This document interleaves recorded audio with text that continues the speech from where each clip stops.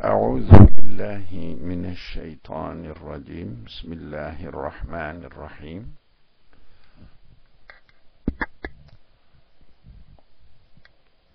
ربنا هب لنا من لدنك رحمة وهيئ لنا من أمرنا رشدا.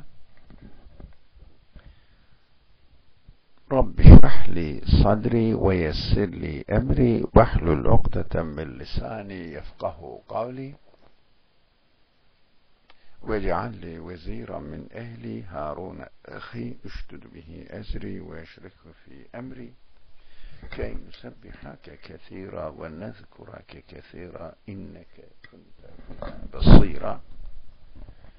وصل اللهم على محمد وعلى آله وأصحابه وأتباعه أجمعين والحمد لله رب العالمين.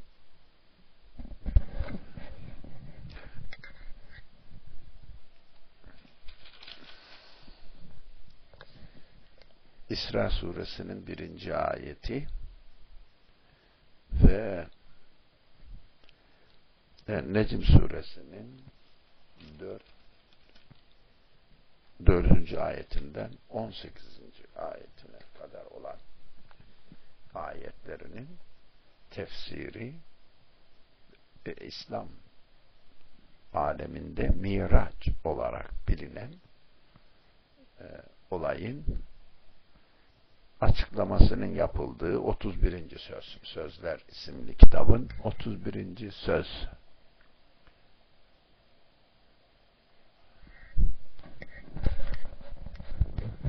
İnşallah 31. sözden ikinci esas bölümünden okumaya devam ediyoruz. İkinci esas bölümü geçen hafta e, baş kısmı sohbet konusu edinildi. Şimdi İnşallah biz buradan e, kalınan yerden devam edeceğiz. İkinci esas hakikati miraç nedir? El cevap Cenab-ı Hak pardon Zat-ı Ahmediye'nin aleyhissalatü vesselam meratibi kemalatta seyri sülûkundan ibarettir. Miraç'ın hakikati e, bu konu üzerinde geçen hafta veya bir önceki sohbette duruldu. Merati bir kemalatta seyri suluktan ibarettir ve e, sohbete katılan arkadaş e, bildirdi. Merati ve kemalat ne demek? Seyri sülük ne demek üzerinde durduk dedi. Peki biz zaten açıklamasını yapacak. Bu birinci cümle konunun e, birinci e, premise Türkçesi bir arkadaş hatırlatırsa memnun olurum. E,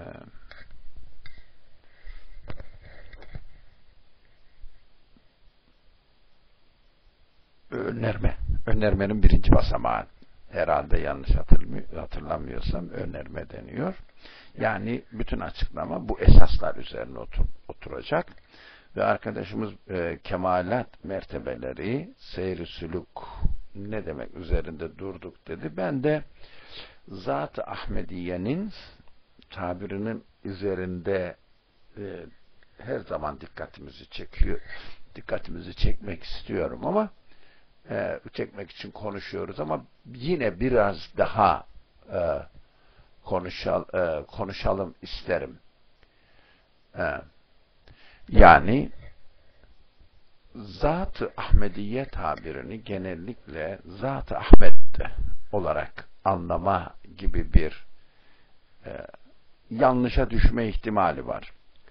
Zat-ı Ahmet demek Muhammed Aleyhisselatü Vesselam'ın maddi, cismani şahsiyeti demek. Zat-ı Ahmediye demek Muhammed Aleyhisselatü Vesselam'ın zatına veya şahsiyetine, cismaniyetine ait olanın zatı. Yani e, biz genel ifa e, genel olarak konuştuğumuzda günlük dilimizde şahsı maneviyesi deriz. Yani Muhammed Aleyhisselatü Vesselam'ın şahsı maneviyetidir. Şahsı manevi, Muhammed Aleyhisselatü Vesselam'ın şahsı maneviyesi neyi e, ifade eder? Onun velayetini ve de risaletini ifade eder. Cismaniyeti ayrı konudur. Burada mevzu bahis değil. Özellikle miracın hakikatini anlamak istediğimiz bu bölümde Muhammed Aleyhisselatü Vesselam'ın cismaniyeti üzerinde durulacağını zannetmiyorum veya öyle anlaşılmaması gerektiğini ima ediyor bu ifade tarzı. Zat-ı Ahmediye ifade tarzı. Ki Risalelerde e, Muhammed Aleyhisselatü Vesselam ile ilgili yapılan çalışmaların özünde onun şahsiyeti üzerinde maddi, cismani varlığı üzerinde durulmaz. Yani kaşı gözü şöyleydi, boyu böyleydi, yaşı buydu diye durulmaz. Bedeni üzerinde durulmaz. Yok göbeği yoktu falan gibi. Üzerinde durulmaz ki bunlar e, hakikat olabilir bununla ilgili yapılan, bu konuyla ilgili yapılan e, nakiller hakikat olur. Belki bir hakikati ifade ediyor olabilir. Bunlar bizi ilgilendirmez. Çünkü e, bunu bilip bilme, bilmemek bir şey kaybetmediği gibi, kaybına sebep olmadığı gibi bilmek de bir fazilet vermez. Ama e, Ahmediye, Muhammediye gibi ifadelerle bizim bir başka noktaya dikkatimiz çekilir ve risalelerde de bu nokta gündeme getirilir. Yani o Muhammed İbn Abdullah diye bilinen kişinin, insanın velayeti ve risaleti yönüyle meselenin ele alınmasıdır.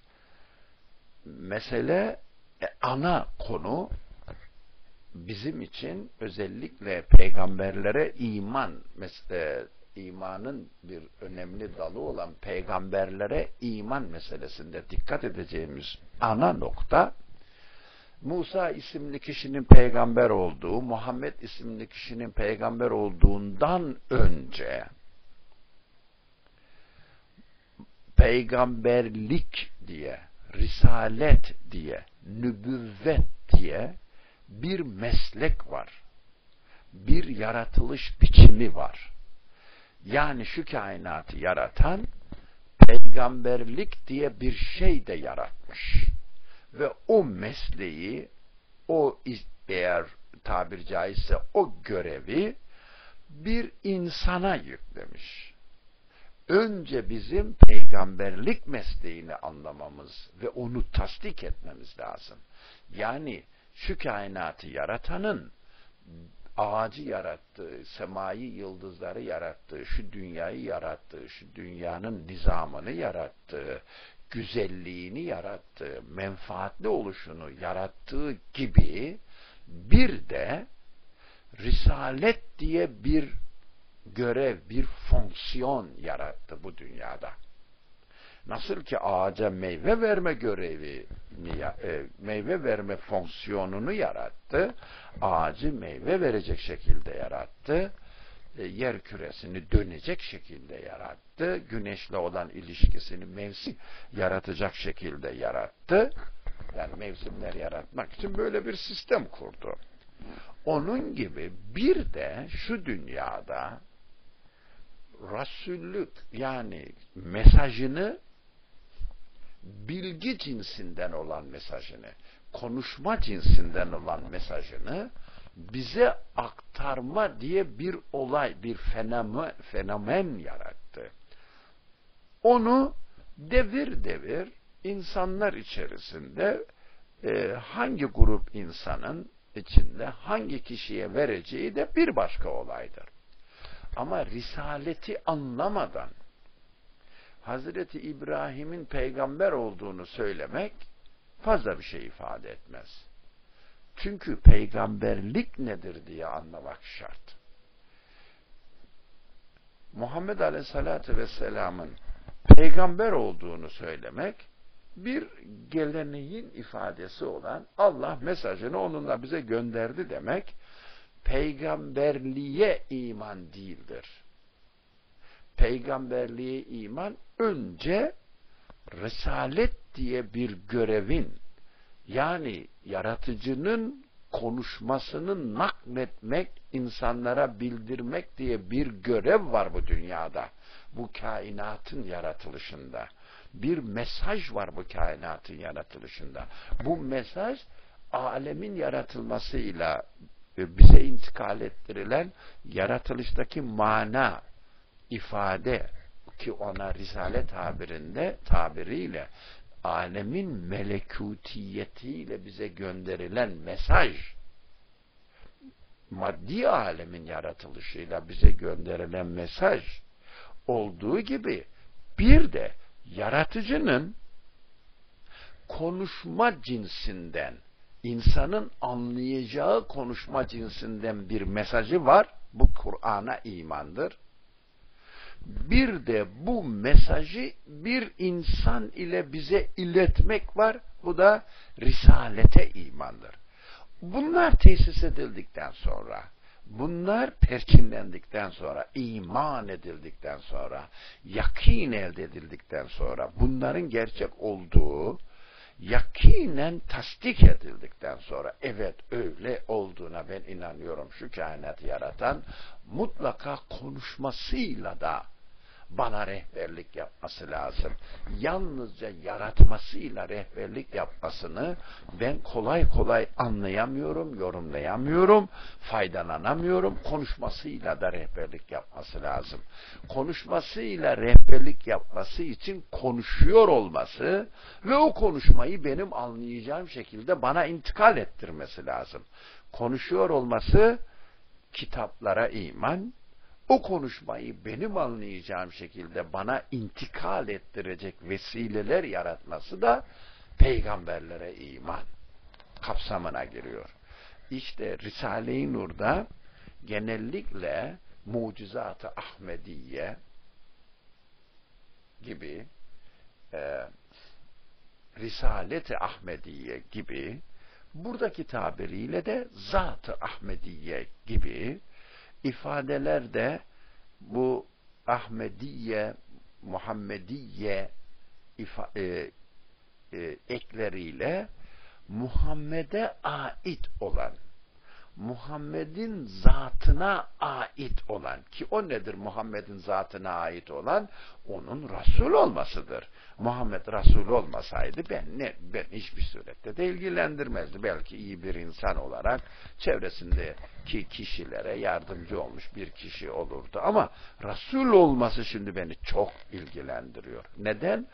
O kainatın yaratıcısının mesajıyla bana gelen, o mesajı bana insan diliyle ifade eden, insan haliyle temsil eden, insan düşüncesiyle ve halet ruhiyesiyle o mesajı bana tefsir eden bir araçtır.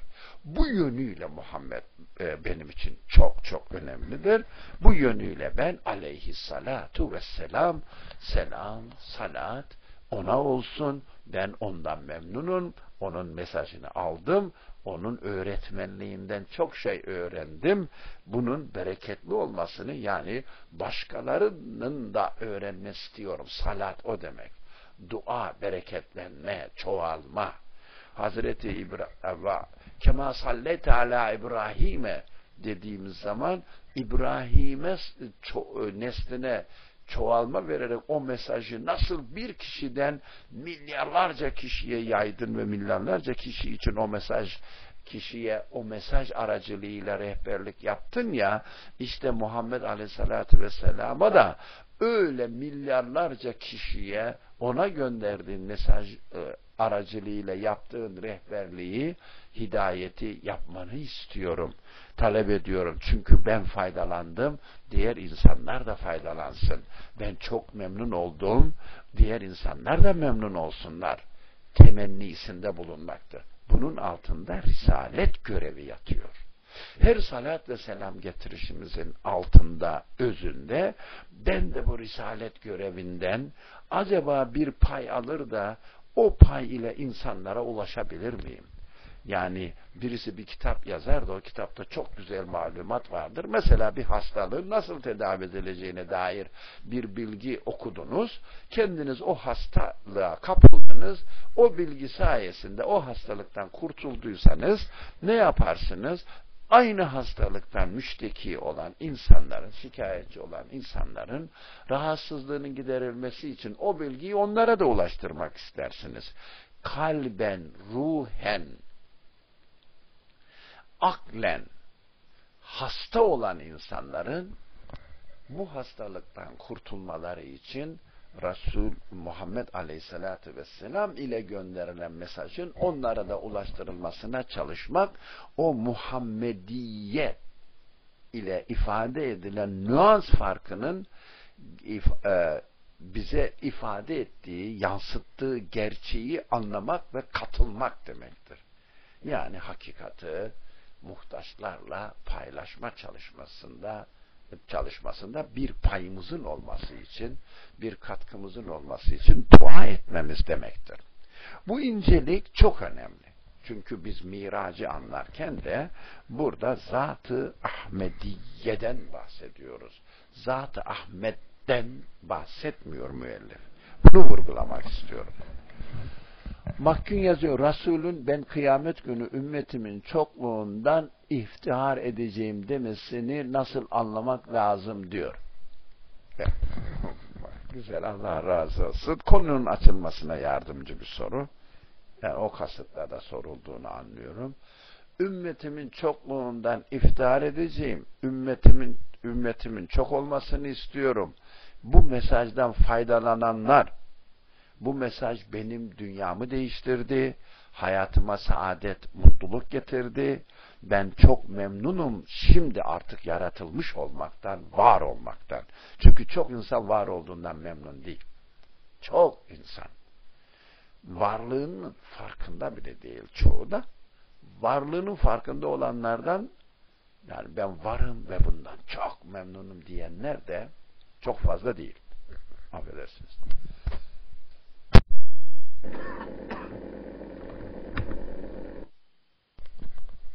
O insanların da varlıklarından memnun olmaları için eğer biz Muhammed Aleyhisselatü Vesselam ile bize gönderilen mesaj sayesinde varlığımızdan memnun olmuşsak, o insanların da varlıklarından memnun olmaları ve dolayısıyla var edenlerine şükrediyor, memnun oluyor, teşekkür ediyor olmaları için, o insanlara da bu hakikatlerin ulaşması için çalışınız, ben daha çok memnun olurum. Çünkü bir insan aç ise, yemek yediği zaman ne kadar çok memnun oluyorsa, aynı şekilde diğer aç olan insanların da doyurulmasından memnun olur. İnsanız. Her zaman öyle. Ben bir hastalıktan, bir mesela bir bitkiden veya işte Allah bir vesile yaratıyor. E, o vesileler bir bitkinin kökünden veya bir yapraktan, bir ağacın yaprağından veya bir hayvanın bedeninde herhangi bir cins et parçasını yemekten Allah şifa veriyor. Hadi araştır, bul, e, duanı yap diyor. Ben de sana cevap vereceğim. Her hastalığa çare var diyor. Bu hastalığın çaresini bulmak için çalış diyor. Ben de çalışıyorum, duamı yapıyorum ve şifa, e, şifa buldu isem faydalandı ise bir başka hasta kişinin de ondan faydalanması için aynı ilacı ona da ulaştırmak için çabalıyorum.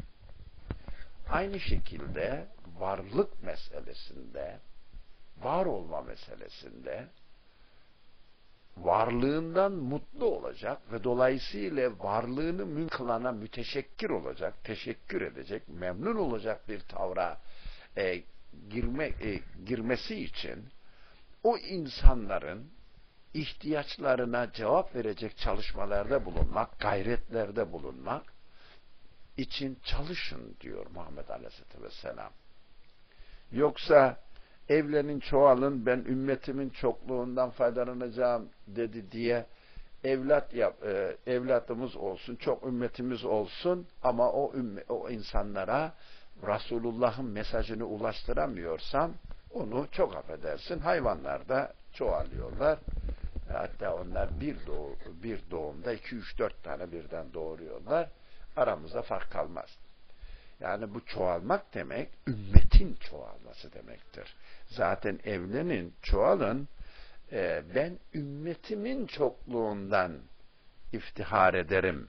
Ben ümmetimin çokluğundan iftihar edeceğim e, demekle ümmet olsunlar.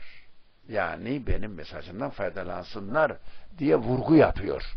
Benim mesajımdan faydalansınlar diye vurgu yapıyor. Bu da bize Muhammed Aleyhisselatü Vesselam ile bize gönderilen mesajın yani onun risaletinin bizim tarafımızdan benimsenip, anlaşılıp, onaylanıp muhtaç olan, aynı mesaja muhtaç olduğunu hisseden insanlara ulaştırma görevini aşkla, şevkle yapmamız için bir teşviktir diye anlıyorum ben bu sözü.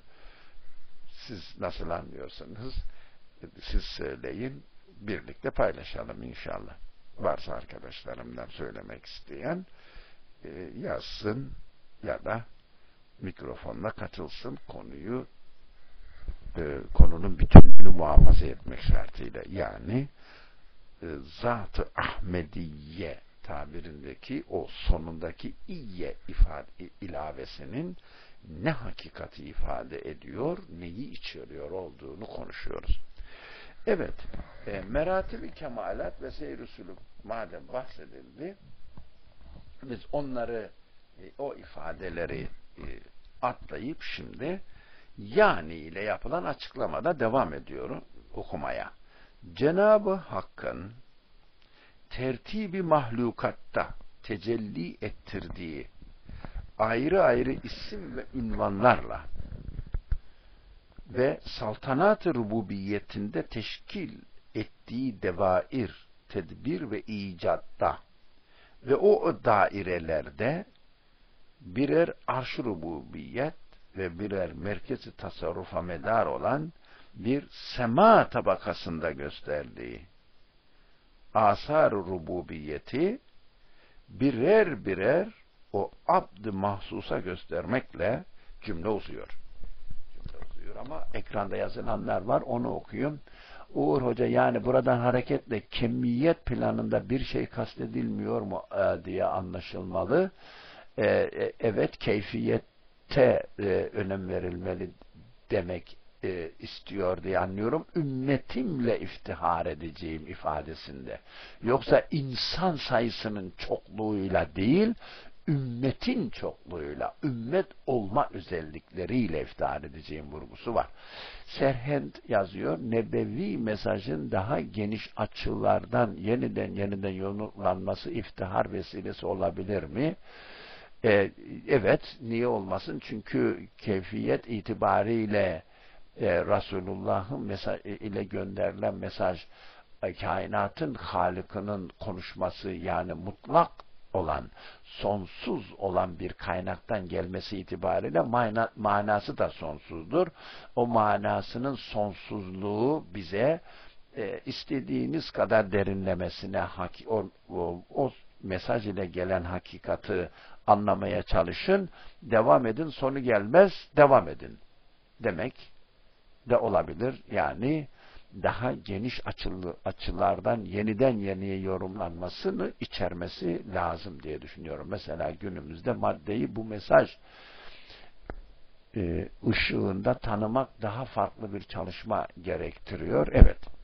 Her şey yalnız maddeyi değil, madde arasındaki ilişkileri ve madde ile gönderilen mesajdaki derinlikleri artık insanlar malumunuz yalnızca işte bir atom vardır diyorlar. Yani e, iplikçikler diyelim, stringlerden bahsediyorlar. O devamlı e, hareket halinde olan e, iplikçik gibi atomun da elektronun da içindeki küçücük parçacıkların devamlı yeniden yaratılıyor oluşunu e, gözlemleyebiliyorlar. En azından mantıken gözlemliyorlar. Matematiksel olarak gözlemliyorlar. Ve yapılan e, matematiksel e, tanımlamalar e, ile e, yap, e, yapılan işlemlerin yani o gözlemlemek mümkün değil. Stringleri e, hiçbir aletle göremezsiniz ama e, matematiksel olarak ifade edebilirsiniz. Böyle olması gerekir diye onların sonuçlarından, etkilerinden e, faydalanarak e, hareketlerinin, davranışlarının na, nasıl bir anlama geldiğini, hangi esaslara göre gerçekleştiğini, yani yaratıldığını öğrenebilirsiniz. Ve bu yapılan işlemlere göre böyle olması gerekir diye kurulan formüllere göre şu dünya şartlarında hareket edildiğinde kainatın yaratılış düzenine aykırı bir sonuç çıkmıyor.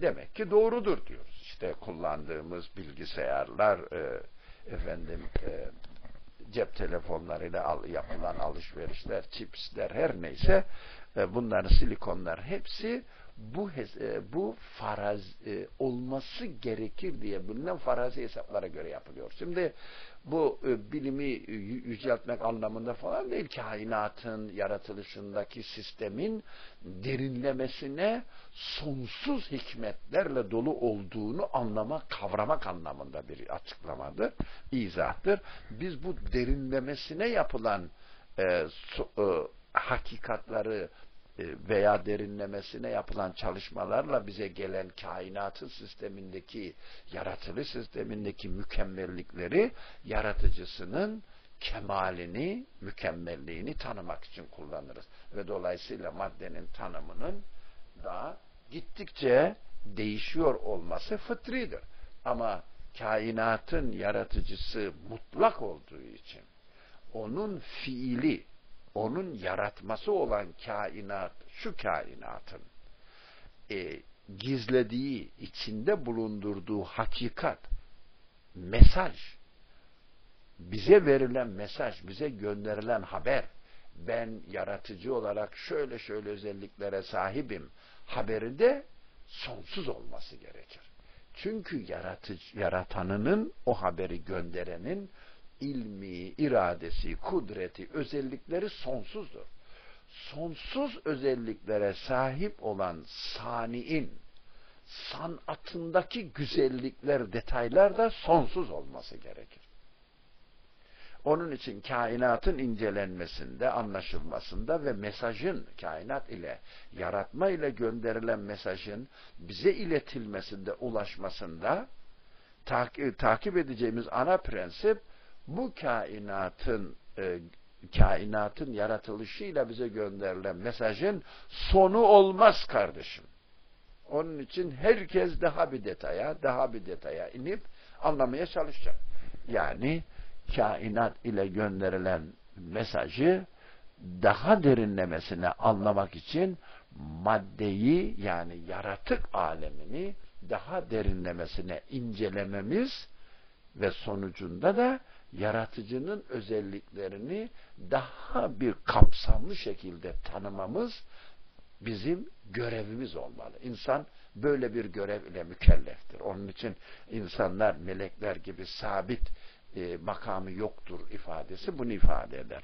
E, bu cümleyi bunun için söylenir. Yani sabit bir şey anladın tamam bitti. Rabbini de o makamda, o anlayışta tesbih ediyorsun. Yani sen bunun yaratıcısın. Bu, bu madde kendisi bunu yapamaz. Sen yapıyorsun. Subhanallah, Subhanallah e, diye ifade edilen anlayışa ulaşırsın. Ama insan öyle değil. İnsan her gün bir başka düzeyde bir daha derinlemesine kemale, mükemmelliğe ermiş bir anlayışla Subhanallah demesi gerekir.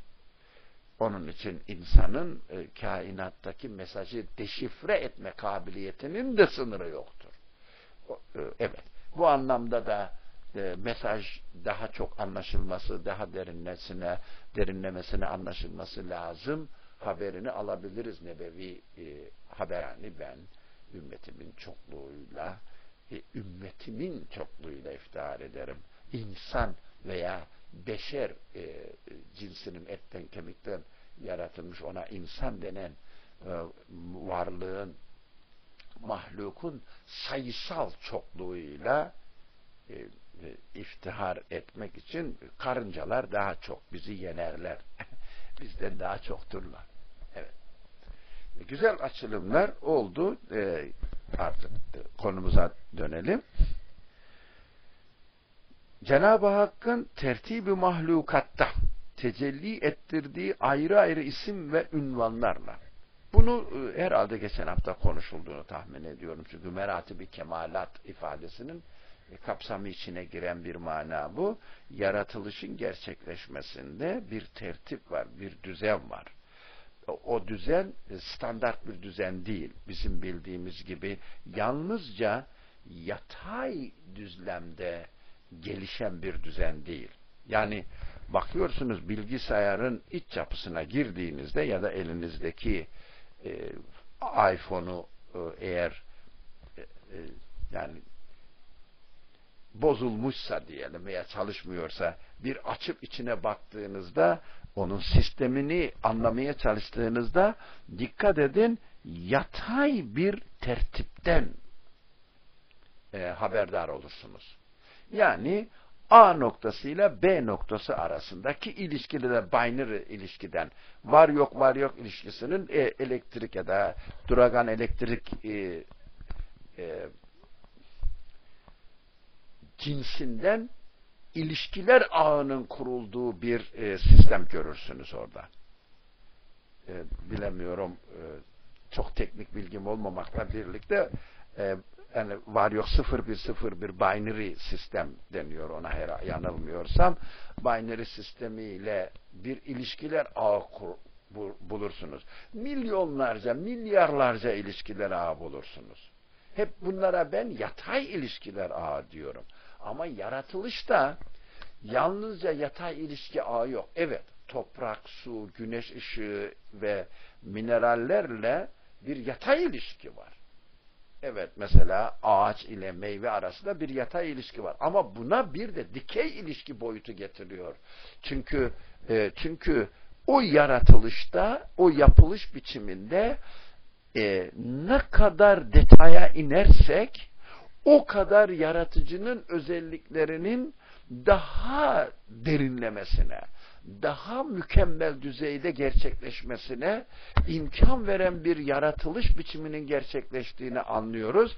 Mesela yaratıcının yalnızca bunu bildiği değil. Mesela diyelim bilgisayarı yapan insan e, yalnızca bilgisayar sistemini bilen insandır. Bilgisayar sistemiyle ilişkisi olan böyle elektrik akımı, duragan elektrik, e, alternatif elektrik her neyse e, cinslerini bilen insandır. Mesela diyelim aynı zamanda 100 yıl sonra gelişecek, e, yaratılacak olan bir e, başka insanın his dünyasındaki geçen e, duyguları bilmez. Yani e, sınırlı bir bilgi alanına sahip olduğunu sınırlı bir yapılıştan anlıyoruz. Yani bilgisayardan ya da e, iPhone'dan anlıyoruz. Fakat kainata baktığımızda kainatın yaratılış biçiminde yalnızca bir e, bir yönüyle yaratılış yok. Yani yalnızca e, yatay ilişkiler ağı yok. Aynı zamanda dikey ilişkiler ağı var. Bunu biraz daha aşma ihtiyacı hissediyorum. Çünkü e, yeni yeni e, fark ediyorum. Böyle bir boyut farklılığıyla kainata bakma alışkanlığı kazanmamız lazım diye kainata baktığımda bakıyorum bulutlar var. Bulutlar soğuk tabakaya uğradılar ve yağmur damlacığı yani yoğunlaştılar yağmur damlacıkları halinde düşmeye başladılar her yoğunlaşmada. Yani laboratuvarda da bunun denemesini benzer bir denemesini yapabilirsiniz. Yaratılışta böyle bir kanun var. Ama bir de bunun dikey ilişkisini kuralım. Burada bir merhamet var, bir ilim var, bir hikmet var. Nasıl bir merhamet, nasıl bir ilim dediğinizde e, sonsuza açılan bir merhamet, sonsuza açılan bir ilim var. Çünkü benim görebildiğim, ihata edebildiğim alem, kainatın tümünü e, tümünü ilişkilendirecek. Hatta zaman itibariyle geçmişi ve geleceği de aynı anda kapsayacak bir ilişki ağı içerisinde bir yağmur taneciği buluttaki buharlaşmış e, e, haliyle olan su molekülünün e, soğuk tabakaya o, ulaştığında yoğunlaşıp yere düşmesi halin a, olayında ben hikmetin derinlemesine ne kadar araştırırsam o kadar fazla hikmet olduğunu anlayacak şekilde yarat, e, bir yaratma gerçekleşiyor. Çünkü bir su damlacığının yoğunlaşmasında e, yoğunlaşmasında uygulanan veya gerçekleştirilen e, yaratılış biçimi, yaratma hali biz ona hadi diyelim kün feyekün kanunu, var olma kanunu o kanun kainatın tümüyle hem mekan itibariyle hem de zaman itibariyle kainatın tümüyle ilgilen, ilişkili olan bir kanun olduğunu hissediyorum. Ne kadar fazla çalışırsam o kadar fazla o yaratma biçiminde yaratıcının özelliklerinin sonsuza açılan mertebelerde e, anlaşılacağını, fark edileceğini anlıyorum. Yani her bir yaratılışta yaratıcısının özelliklerinin sonu gelmez olduğuna dair haberler alıyorum. Bu sonu gelmez olduğuna dair haberler onu inceledikçe derinleşiyor. İnceledikçe denirleşiyor. İncelecik, inceledikçe derinleşiyor. İşte merati bir mahlukatta tabirinin bir de böyle bir e, boyutu var.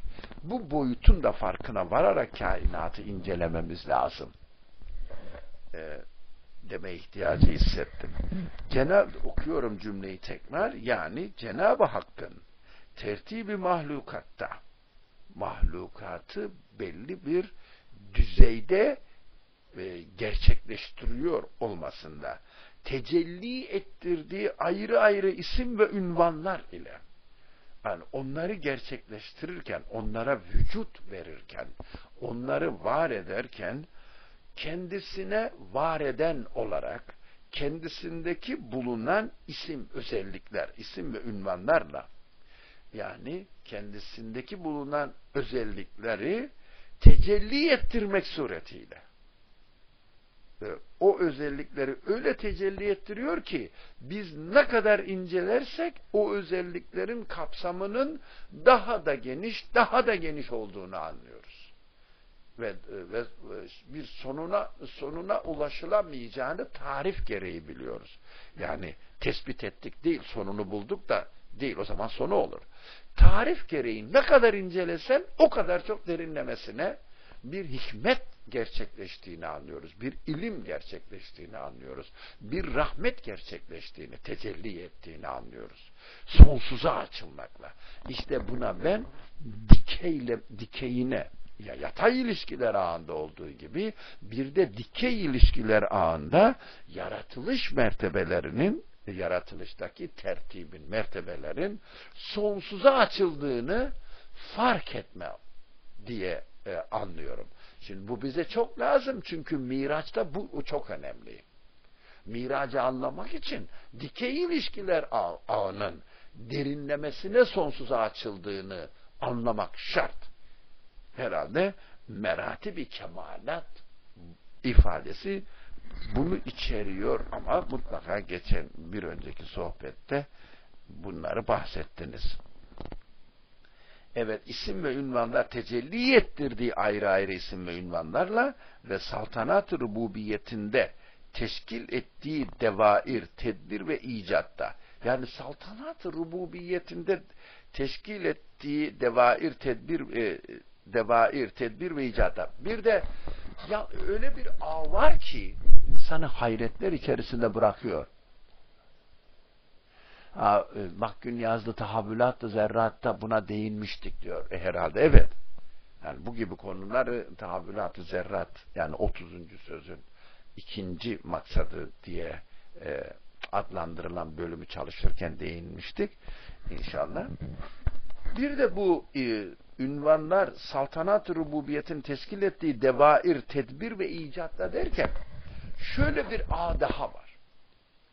Yalnızca yatayımız, horizontal dediğimiz ilişkiler ağında değil. Yani güneş ışığı ile e, atmosfer, atmosfer ile atmosferin basıncı, atmosferin basıncı ile yukarıya doğru çıktıkça havanın e, soğuması, te, e, yani e, basıncın e, basıncın azalmasıyla havanın soğuması, güneş ışığının yeryüzüne çarpmasıyla e, yaratılan ısının yukarıya e, açıldıkça azalması ve uçakla giderken e, dışarıdaki havanın mesela e, yer, yerde 30 dereceydi iken eksi bilmem kaç derecelerde oldu 60 70 100 derecelerine geldiği falan söylenince e, biz Allah dışarı o kadar soğuk mu acaba? Neden soğuk olsun ki? Güneşe daha yakın değil mi? falan gibi düşünebilir. Ben öyle gençken öyle düşünüyordum.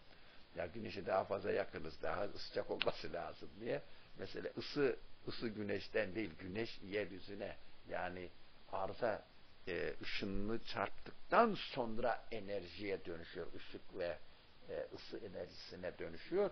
E, yani böyle hikmetli bir yaratılış var. Bu, bu ağa baktığımızda yani çok basit bir şekilde güneş ışığı ile bulut arasında, hava basıncı arasında, atmosfer arasındaki ilişkilere baktığımızda mükemmel bir ilişki var. Bu yatay ilişkidir. Bu kötü demiyorum. Bu lüzumsuz demiyorum. Bu bir, bir ilişkinin bir bölümüdür. İkinci bölümü ise ya bu ilişkilerde bir hikmet var. Bu, bu hikmet bu ilişkiler incelendikçe hikmet gittikçe derinleşiyor. Bu ikinci boyutu. Bir de bunun üçüncü boyutu var. O da şu aynı olayda bir hikmet gerçekleşiyor ve aynı zamanda rahmet gerçekleşiyor ve aynı zamanda ilim kendini gösteriyor ve aynı zamanda tedbir kendini gösteriyor ve aynı zamanda irade kendini gösteriyor. Yani ilim içinde irade, tedbir, e, rahmet, hikmet görünüyor. Hikmet içinde ilim, irade, tedbir görünüyor. Böyle bir acayip ağ var. Yani bir şey varlık alemine gelirken insan o şeyi incele, incelediğinde, varlık alemine geliş tarzını incelediğinde kaçınılmaz olarak ulaştığı sonuç akıl almaz bir mucizevi yaratma, yoktan var etme gerçekleşiyor. Bunun yatay ilişkisi sonsuza gidiyor, dikey ilişkisi sonsuza gidiyor ve bir de bu ilişkilerin, e, bu yatay ve dikey ilişkilerin birbiri içerisindeki ilişkileri de sonsuza gidiyor. O zaman insan diyor ki Subhanallah. Yok arkadaş ben teslim oldum diyor. Yaratıcının sonsuzluğunu, mutlakiyetini, yaratık cinsinden hiçbir surette ifade edilemez, anlaşılamaz oluşunu, yarat, yaratıcının e, hiçbir surette yaratık alemde eşi benzeri olmadığını rahatlıkla itiraf eder duruma geliyoruz. Ta tamam diyoruz, teslim oldum. Benim yaratıcım kainatın tümünün yoktan var edicisi ve fakat mutlak olandır. Sonsuz olandır. Sonucuna ulaşıyorum. Ama bu sonsuz olandır sonucuna ulaşmanın da kendine göre hep mertebeleri var. Hangi düzeyden sonra sonsuza ulaştın? Hangi andır, e, e, kavrama e, fark etme düzeyinden sonra aa bu sonsuza gidiyor kardeşim dedin. O da o kişinin imandaki yakin mertebesidir. İşte e, buradaki anlatılan ki biz bunu anlamakla miracın hakikatini anlayacağız. Onun için önemli bunları anlamak. Üç türlü, üç türlü, üçüncü türe saltanat rububiyetinde teşkil ettiği devair, tedbir ve icatta yani e, ifadesinde yani bir yerde bakıyorsunuz e, e bunu başka müellif başka yerlerde verdiği örnekle azametini tecelli ettiriyor. Bir yerde rahmetini daha çok tecelli ettiriyor. Bir yerde hikmetini daha çok tecelli ettiriyor. Sonra iyice bir anla, e, dikkatle baktığımızda azametini, saltanatını tecelli ettirdiği yerde aynı zamanda hikmetini ve rahmetini de tecelli ettiriyor. Rahmetini tecelli ettirdiği yerde aynı zamanda saltanatını da rahmetin, hikmetini de tecelli ettiriyor. Böylece e, her bir isim ismin tecellisinde, yaratıcıya ait olan özelliğin tecellisinde diğer özelliklerin de tecellilerinin kaynaştığını görüyoruz. Buna biz e, buna burada e, saltanat rububiyetinde teşkil ettiği devair ve tedbir ve icat e, saltanat bu ifadelerde ben bunu anlıyorum. Daireler, daire içinde daire, daire içinde daire, her bir daire birbiri içinde. Ve tedbirler ve icatta var etmede, yoktan var etmede. Öyle yoktan var ediyor ki her yoktan var ettiği şeyde bütün özelliklerini birden yansıtıyor. Bizim bakış açımıza, ihtiyacımıza, dikkatimizi çeken yönüne göre bazen hikmeti daha çok görüyoruz, bazen ilmi daha çok görüyoruz, bazen rahmeti daha çok görüyoruz, hayatı daha çok görüyoruz. Ee, diğer e, er, yaratılışta gözlemlediğimiz tüm özellikler e, daha fazla görünür olabilir. O gözlemcinin gözlemleme açısına, maksadına göre değişir. Birisi hikmet görürken diğeri rahmet görür. Birisi rahmet görürken diğeri azametin tecellisini ön planda görür. Dikkatle bakınca evet azamet tecelli etti. Anlıyorum galaksilerin yaratılışında ama hikmetsiz mi bu diye sorduğunda ve incelemeye başladığında aa der ve sanki hikmet ön plana geçer. Buna bir ismin diğer ismin burcunda tecelli etmesi diye açıklanır. Risale-i Nur tefsir kitaplarında çok çok güzel, ince, hakikatli bir meseledir. İnşallah Rabbimiz hepimize kavramak nasip eder. Evet. Devam ediyorum okumaya. O dairelerde birer arş-ı rububiyet, ve birer merkezi tasarrufa medar olan bir sema tabakasında. Şimdi kardeş, sema kelimesi problem oldu. Yani problem değil. Ben dikkatimizi çeksin diye problem oldu diyorum. Burada semayı nereye getirdi? Nasıl gösterdi? Çok iyi dikkat etmemiz lazım. Her bir merkezin bir kubbesi var, seması var. Bunu diğer başka yerlerde de yapılan izahlara göre e, ve, ve bir de Kur'an-ı Kerim'de sema kelimesinin geçtiği yerlerde aslında neyi, neyi, neyi e, e, anlatıyor? Evet, gökyüzünü anlatıyor. Doğru kardeşim. Yıldızları, galaksileri anlatıyor. Doğru kardeşim. Bir şeyin en yüksek zirvesini anlatıyor. O da doğru kardeşim. Bir ismin tecellisinde o ismin tecellisinin bizim görebildiğimiz en uç mertebesini anlatıyor. Doğru kardeş. Bir isimle diğer ismin birlikte tecelli etmesi ki bir gözlemlemeye başlıyoruz. İkisinin kombinasyonunda ulaştıkları en zirve noktayı anlatıyor. O da doğru kardeşim. Bunlar hep anlama, kavrama, fark etme, idrak etme, marifetullah'ta seyri sülüka gitme yollarında aşamalardır, basamaklardır, merdiven basamağı gibi. Basamaklardır. Bir yerde önce sema deyince gökyüzünü anlarsın. Doğru.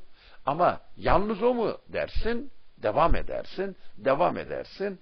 İşte biz bu merkezi tasarrufa, medar olan sema tabakasında gösterdiği asar rububiyeti en yüksek mertebede hangi açıdan bakıyorsak hangi mertebede bakıyorsak o mertebede ulaştığımız en yüksek, en üst en üst tecelli alanı diyelim. Tecelli e, tabakası diyelim. Platformu diyelim tecellinin zirvesine ulaştık burada diyelim. İşte orası bizim için sema olur. Bilmiyorum problem var mı? Arkadaşlarımdan yazanlar var mı? Evet. Ee, yazan bakıyorum ekrana bir yazan yok. Ee, mikrofonu isteyen de yok. Ee, buyurun e, sema kelimesinin, arş kelimesinin Kur'an-ı Kerim'deki kullanışına ilginç bir e, bakış açısı bu. Biz bunu e, Risale-i Nur tefsir kitaplarından öğreniyoruz, onu sizinle paylaşıyoruz. Demeyin bu adam kendisi buldu falan diye. Ben Risale'den kopya çekiyorum. Hırsızlık yapıyorum. Evet.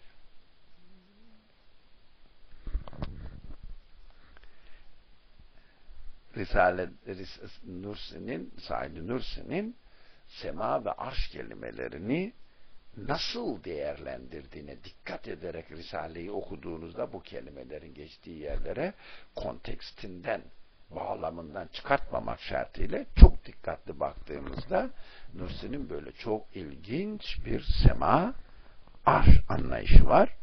Şimdi biz bu sema ve arş bize çok lazım. Miraç'ın hakikatini anlamak için. Miraç semaya çıkmak oluyor. Aa, bu semaya çıkma kavramının içerisine neler girecek? Biz semaya çıkmaktan neler anlayacağız? Bunların sanki ön hazırlıklarını yapıyor bu cümleciklerle. Bu çok yoğun cümleler. Ben öyle okuyup geçemiyorum.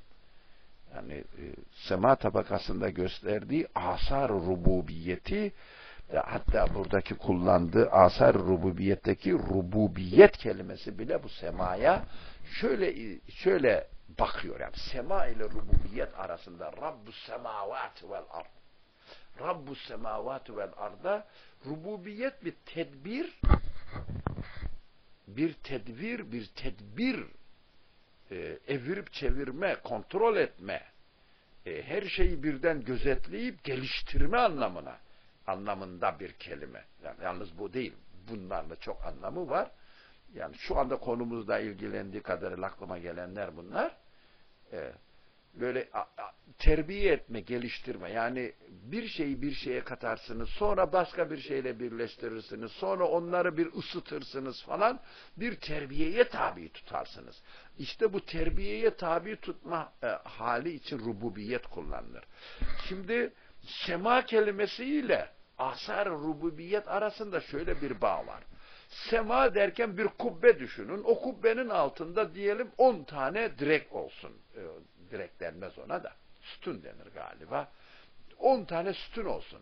10 tane sütunun birleşerek üzerinde taşıdıkları kubbeye sema denir dersek 10 ayrı insan, 10 tane haşa 10 esma olur denmez e, kainata tecelli eden tüm özellikler Rabbin bir esmasının tecellisidir. Ama bunun 99 tane belirgin olanını İslam alemi bize nakleder. E, hadislerden toplayarak 99 tanesini e, belirgin, her zaman insanı müşahede ettiği ve her zaman da e, kendisiyle muhatap olduğu tecelli, e, tecelli eden 99 isim ama bu Allah'ın özelliği 99'dur, 100 değil olamaz diye sınırlamak zaten ilah yani yaratıcı ve mutlak olan yaratıcı tanımına aykırıdır. Olmaz. O bizim açımızdan öyledir. Yani bizim gözlemimize göre biz 99 tanesini açık bariz bir şekilde gözlemleyebiliyoruz. Fazla incelemelere girmeden demek o. Ve avam her sıradan insan 99 ayrı özelliğiyle yaratıcıyı tanıması mümkündür demek.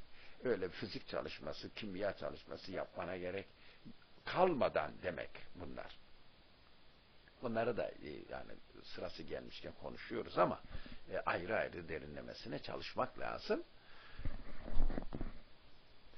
Bu 10 tane bizim örneğimizde 10 10 e, sütun üzerine kurulmuş bir kubbe düşünün. Her bir sütuna bir isim, ismi ilahinin tecellisi olarak bakın. Yani birisi Halik ismini, birisi Bedi ismini, birisi Müzeyyin ismini, birisi Musavvir ismini, birisi Fatır ismini, birisi Hakim ismini, birisi Rahim ismini, birisi e, Mürid ismini tecelli et, e, temsil etsinler. Bunlarla bunları biz gözlemliyor olalım. Bunların hepsinin birden toparlanıp birbiri içerisindeki ilişkileriyle çünkü onların her birisi birbirine bağlı oluşturdukları o kubbeyi Her bir taş birinin hem e, hakimidir hem mahkumudur. Hem kendisinin altındakine dayanır hem kendisinin üstündekini de taşır. Böyle bir ilişki ağını çok basit düzeyde düşünüyoruz. Yani en basit düzeyde ilkokul bir aritmetiği çalışır gibi e, düşünün. 1 2 3 ile 1 1 daha 2 eder gibi konuşuyoruz şimdi. Matematikten bahsetmiyoruz öyle. E, yani en basit düzeyde. Böyle taşları birbirine bağlı olarak kubbeyi oluşturduğunu düşünün. O on sütün en sonunda bir kubbe şeklinde birleşiyor. İşte rububiyet o her bir ismin her bir ismin tecellisinin birbiri içerisinde kaynaştırmasıyla rububiyet tecelli ediyor. Bu kaynaştırmanın en üst düzeyde müşahede ettiğimiz alanına sema denir. Onun için asar rububiyet tabiriyle sema arasında böyle bir bağlantı kurmamız gerekir. Kainatın yaratılışında bu sırlar insanlar, insan insani kabiliyetini kullanıp da kainatın yaratılışındaki sırların çözülmesi için o kabiliyetiyle birlikte kainatı incelemeye başladığında aklı hayali almaz bir sonsuz derinlikte bir alemin içerisine giriyor. Okyanuslar hiç kalır onun yanında.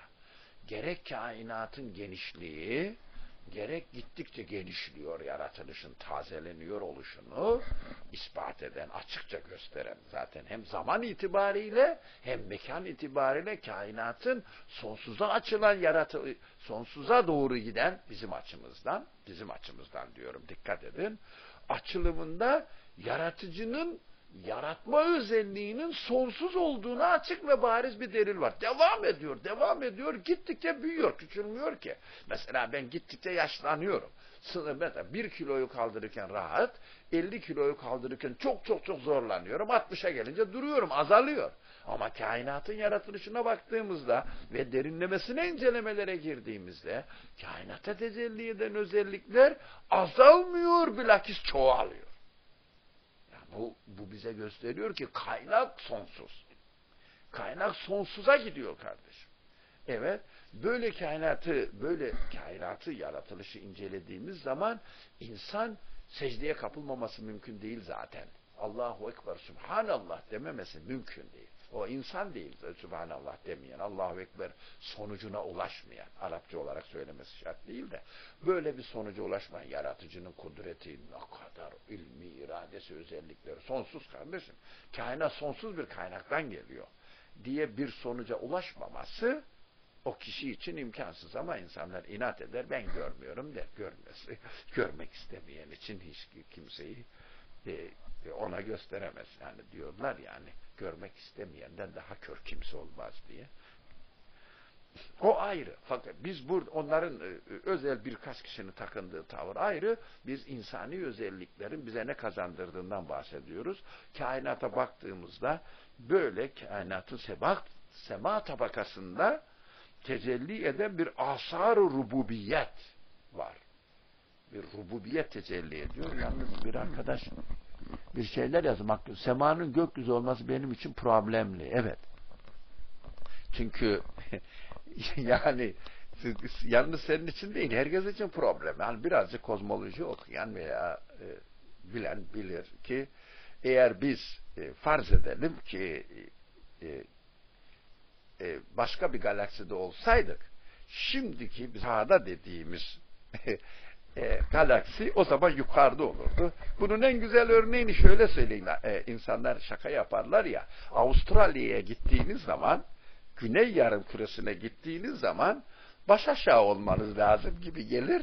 Güney yarım küredekiler de kuzey yarım küresindekilerin baş aşağı olması lazım gelir diye düşünüyorlar. E, biliyorsunuz herkes kendi perspektifinden olaya baktığı için biz sema dediğimizde hani şu yukarıdaki bulutlar ve yıldızlar diye yukarıyı kastedecek olursa yukarıya çıktığımızda da yukarının seması bizim bulunduğumuz yer yer arzın bulunduğu alan olur. Onun için bu göreceli bir ifadedir. Yani problemli olması haklı ve gerçek. Gerçekten semadan maksat benim kafamı kaldırıp yukarıda gördüklerim olsa e, hayır. Ki bunu destekleyen e, ilginç ilginç e, e, bir hadis var. E, belki bu hadis e, hadis e, yani rivayet itibariyle de sahih e, yani e, bazı kitaplarda nakledilenler sahih değil gibi bir anlam var da e, zannediyorum e, sahih diye kabul edilen eserlerde en azından Buhari ya da hiç değilse Müslim'de rivayet edilen bir hadis olduğunu hatırlıyorum. Kaynaklara fazla dikkat et, e, e, beynime yazmayı düşünmediğim için. Hadiste şöyle bir zat, uzatmayayım, e, bir hanımın, köle kadının azat edilmesi, Müslüman, mümin olduğu zaman e, sahabe hemen onu azat etmek e, ister ve azat ederlerdi. E, müminlerin azat edilmesi için e, azat edilmesini e, azat edilip edilmeyeceğini Resulullah'a soruyor. E, isimler üzerinde durmayalım hiç. Zaten pek de hatırlamam. E, ben şahsen o da benim zafiyetim, tembelliğim. E, Resulullah'a geliyor bu e, e, kadın bir kadın bu. E, yani cariye e, veya köle kadın. O zamanın şartlarında olmuş bir olay. E, Resulullah soruyor bu inanıyor mu mümin mi? E, ben bunu azat edeyim mi? O da Resulullah da e, kadına soruyor e, Allah'a inanıyor musun? İnanıyorum. Ona diyor Allah nerede? Çok ilginç bir hadis bu. Çok çok çok ilginç bir hadis. O da semada diyor o zaman Resulullah Aleyhisselatü Vesselam da diyor ki e, bu kadın inanıyor. Allah'a gerçekten inanıyor. Azat et diyor, azat ediyor. Her neyse semada demekle hani o kadının, o insanın yaratık cinsinden değil demek istediğini Resulullah e, söylüyor. Yani biz Allah semada dediğimizde e, veya birisi Allah semada dediğinde yer olarak Allah bir zat verip o zata bir mekan teşkil etmek anlamında olmaması gerektiğini Resulullah bize öğretiyor. Ki e, insanlar genellikle de hani bir mekan tayin etmek için Allah Allah semada gökyüzünde e, veya semavi dinler deyince gökten gelmiş dinler deyince semavi bir kitaptır Kur'an deyince gökten gelmiş deyince hani şu bizim bizim galaksimizin ötesinde bir başka galaksiden indiğinde anlamında olmadığını herkes bilir. Herkes öyle anlaması lazım. Yoksa çok materyalist bir anlayış olur. Semada demek gökyüzünde demek hani bizim şu yukarıda gözlemlediğimiz yıldızların bulunduğu yerde demek değildir. Sema ve o yıldızlar değildir. Sema bir şeyin herhangi bir hakikatin e, ki o maddeten değildir, hakikat diyorum çünkü, bir hakikatin, bir gerçeğin, bir mananın, bir melekutiyete açılan kapının benim görebildiğim en üst noktası demek. Allah işte kainata bakıp kainattan algıladığım, yaratılıştan algıladığım mesajın en üst düzeyde benim artık e, tasavvurumun ötesinde, kainatın cinsinin ötesinde, yaratılmış alemin cinsinin ötesinde, yaratık, yaratık aleme vücut veren kaynak demek. Sema bu anlamda anlaşılmalı ama bir noktanı, bir noktayı inceleyen kişinin, bir part, partikülü inceleyen, parçacığı inceleyen kişinin ulaşmış olduğu e, özellikler, o parçacıkta görmüş olduğu özelliklerin kaynağının algılandığı, tasdik edildiği yer o parçacığın o kişinin anlayışında semasıdır. Eğer bu cümle e, çok karmaşık gelmediyse.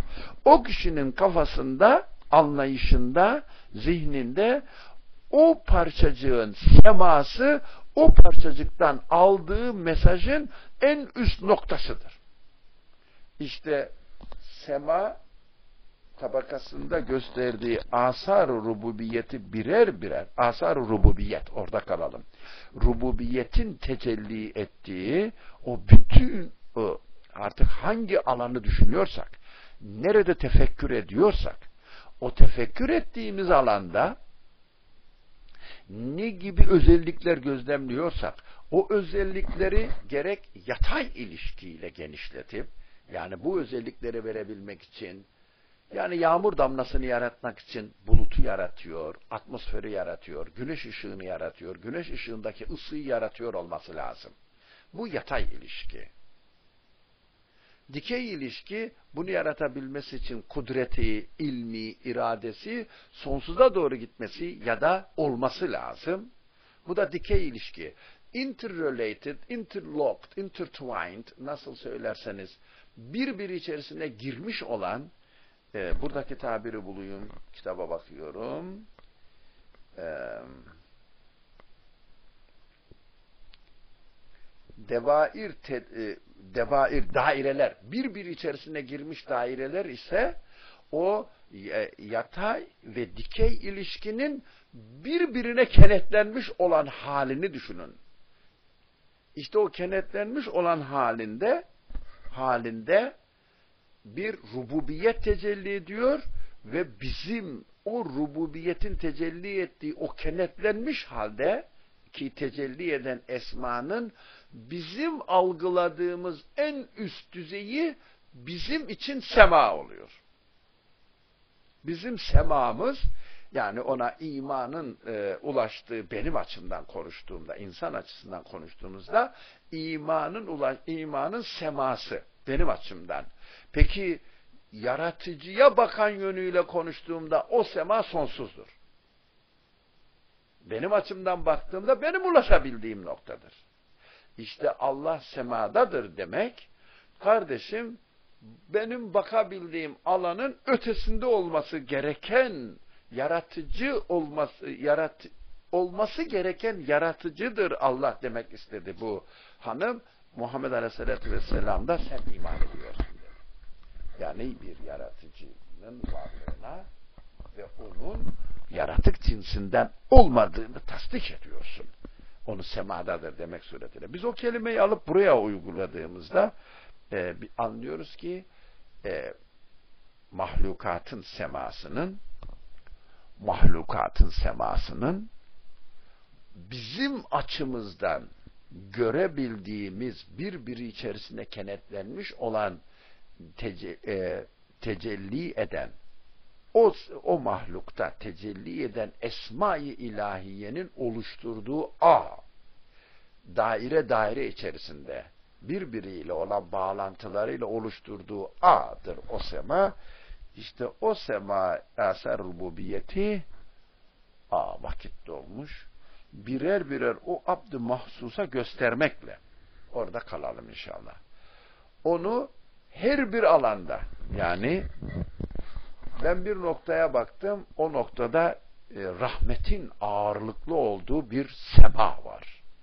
Diğer bir noktaya baktım. Kudretin ağırlıkta olduğu bir sema var. Diğer başka bir noktaya baktım. Hikmetin ağırlıkta olduğu, azametin ağırlıkta olduğu falan falan. İşte o, o e, sebaları o değişik değişik değişik değişik kubbeleri diyelim bizim e, basitçe ifade edilirse birer birer o, o abdi mahsusa gösteriyor. Mesela şöyle söyleyeyim. Allah'ın rahmetini görmek için bir bahçeye gidersiniz. Yine aynı Allah'ın rahmetini görmek için bir ormana gidersiniz. Yine Allah'ın rahmetini görmek için bir sofraya misafir olursunuz. Yine Allah'ın rahmetini görmek için bir oynayan çocukların ne kadar şefkatle, sevgiyle birbirlerine kaynaştıklarını müşahede edersiniz. Yine Allah'ın rahmetini görmek için kuşların, böceklerin oluştu, oluşturduğu bir müzik orkestrasını dinlersiniz. Ne kadar güzel de şakıyorlar, memnuniyetlerini ifade ediyorlar dersiniz. Orada bir rahmet ilahi görürsünüz. Bunlar rahmetin değişik alanlardaki sanki alancıkları e, veya kubbecikleri. Bir de Allah'ın rahmetini görürsünüz. Bir de Allah'ın azametini görmek için dağlara gidersiniz. Allah'ın azametini görmek için galaksileri seyredersiniz. Allah'ın azametini görmek için bir elektron mikroskopla bir atomun veya bir hücrenin içine girersiniz. Seyahat edersiniz. Rahmetin sonsuz alanlarda e, seyahatini yaparsınız. Demek ki e, birer birer bu alanları seyrettirip, gösterip e, o hususi mah, e, abdine, kuluna onları görebilme kabiliyetini geliştirmiş olan o kişiye göstermekle o abdi işte belli bir görevle görevlendirecek, belli bir iş yaptıracak. Orada kalalım inşallah. Miracın hakikatının anlaşılmasına mukaddeme yapıyoruz dikkat ederseniz. Bu, bu pasajda. Buraya kadar söylediğim, e, söylemek istediğiniz, katılmak istediğiniz noktalar var mı? Çok güzel bir miraç hakikatine açılan e, e, mukaddeme, introduction, e, ön söz oldu bunlar. Benim dünyamda şimdi miraç yavaş yavaş e, e, hem güzelleşiyor, mükemmelleşiyor, hem de hani benim klasik anlayışımdan yavaş yavaş e, farklılık arz etmeye başladı benim dünyamda. Sizde neler oluyor bilmiyorum. Herkesin miracı kendine. Yani burada e, e, duruyorum. Allah razı olsun. Söylemek istedikleriniz varsa memnuniyetle dinlemeye hazırım. Değilse Makgün Miraç benim yapabileceğim bir olay haline geliyor. Senin açından senin kafan sende. Bir de bu anlayış güzeldir ama bir de e, Miracı Muhammediye, Miracı Ahmediye'yi düşün. evet doğru hani her namaz e, müminin miracıdır ya. Doğru ama biz biraz da e, yapabileceğim bir olay olduğunu anlamak çok önemli olmakla birlikte biraz da onun ötesinde daha başka miraçlar yapanların acaba neler yap, yap, yapmışlar ki benim önümde ne kadar daha fazla seyri suluk yani gelişme, terakki etme imkanları var olduğunu ve bu yolda seyahatime devam etmem gerektiğini, sonu gelmez bir yolculukta olduğumuzu anlamamız lazım. İşte e, Sübhaneke ma arafnake hakka marifetik itirafı ey Rabbim seni öyle tesbih ederim ki sen öyle bir e, zatsın ki seni hiçbir zaman hakkıyla tanıyamadık ve sen hakkıyla tanınamaz olansın. Yani mutlak olansın. İnsan olarak biz hakkıyla tanınamayız.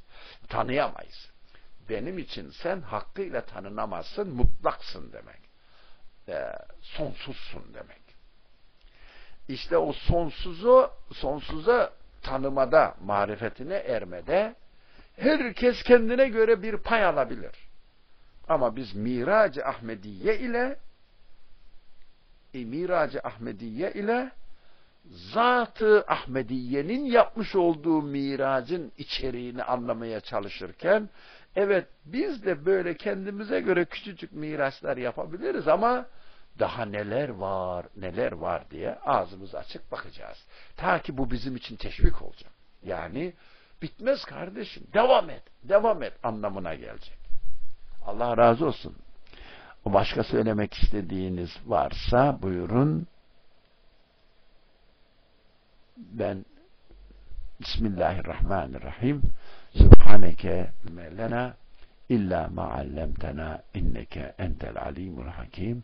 وآخر دعواهم أن الحمد لله رب العالمين. الفاتحة